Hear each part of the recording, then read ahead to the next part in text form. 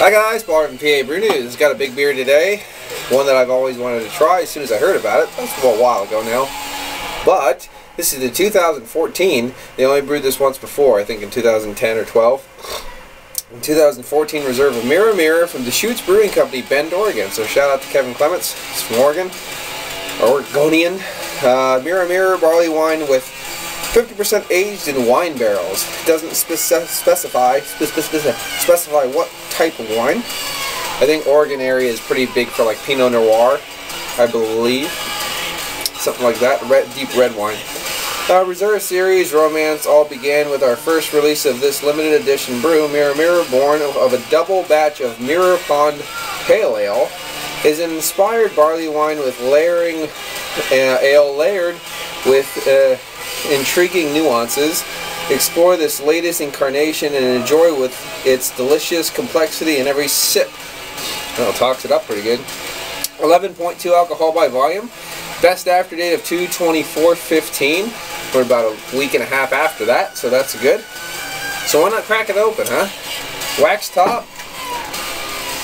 Cut off the wax prior. prior. Let's see if I can get a, a bite on it. There we go. There we go. There we go. There we go.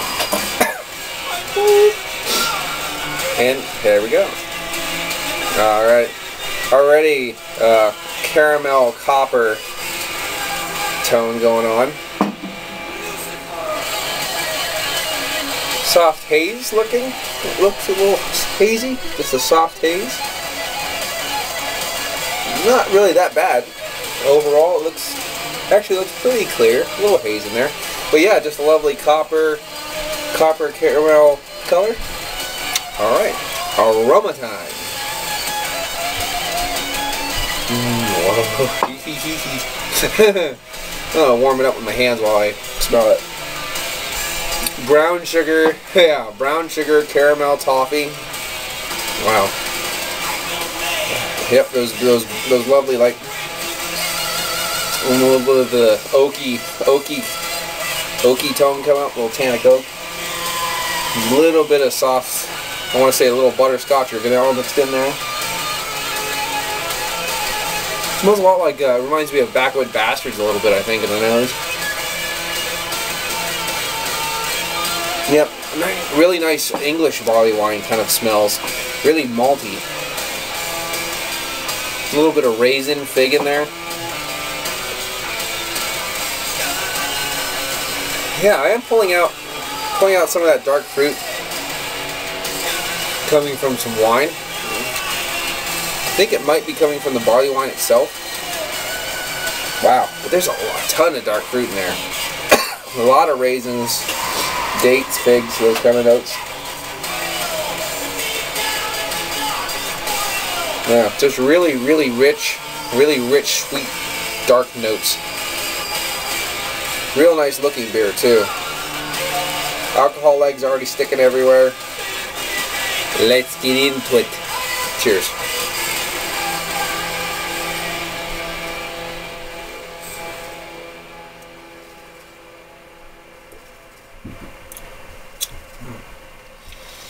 Yep. yeah. Sticky, chewy caramels, toffee, those nuggety, um, husky nut husks, a little bit in there. Don't make fun of me, it's in there. Shut up. little tannic oak in there. Mm.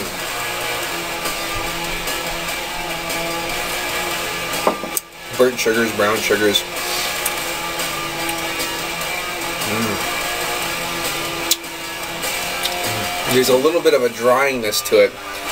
Um, it, it might be a soft um, a soft hop in there. I don't know what they have, but it seems a little bit more like a touch of that floral booze coming through, and a little bit of a, a tannic. Uh, the oak tannins kind of drying out the palate way at the back. Almost, it tastes almost like a soft smoke in there.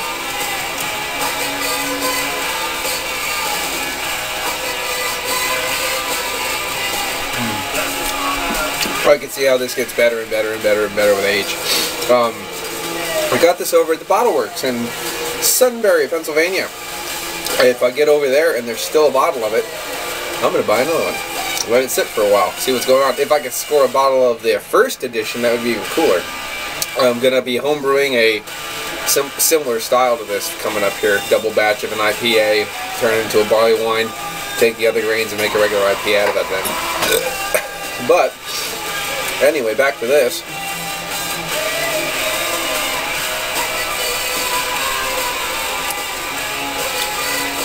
Wine is very, the, the wine barrel aging is weird because I'm not getting huge wine notes. I'm getting spicy peppery notes. Spicy peppery, raisins, figs, those notes. Tannic oak, I'm getting that. Soft vanilla's in there, mixing it with a, almost butterscotch. I'm getting those notes, but I'm not pulling out a rounded wine quality. So I don't know what type of wine, and I don't know if it's a wash bottle, new barrels, old barrels, no idea. I was assuming if it was really fresh, juicy, uh, wet barrels with the wine, it would stand out more. So I don't know if that's going on here or not. Anyway, back to the beer.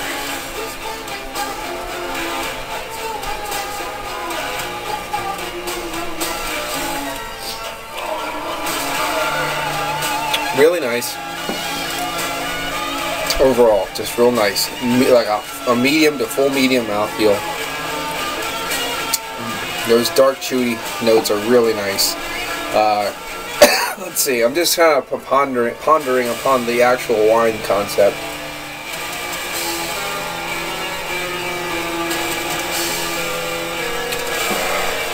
I'm definitely getting some tannic oak getting those those senses of the barrel. Um, I've had some stuff from Deschutes where there, it had a very, very rich, lovely Cabernet Sauvignon kind of style in it. Uh, the uh, 2011 Abyss I had, wow, boom, bold wine. I'm expecting that in this, not getting it. Still a great beer. I'm going to rack this all the way up to a big 9.5. It's that good. It's really good. 20 20 bottle twenty dollars a bottle something like that but it's worth it. You'll really enjoy it. It's been Paul from Brew News. 9 9.5 out of 10 for Mirror Mirror from Deschutes Brewing Company. Check that out the 2014 vintage of it. I hope they keep making this uh, staggering years. It's a beautiful beer. Cheers